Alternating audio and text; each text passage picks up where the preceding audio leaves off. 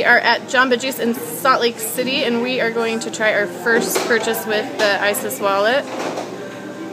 Wish me luck. So what do I do? Just wave it here? Yeah, I think you just tap it up against there. Tap it up against there? Sorry. There we There we go. Woohoo! Success! Mission number one completed.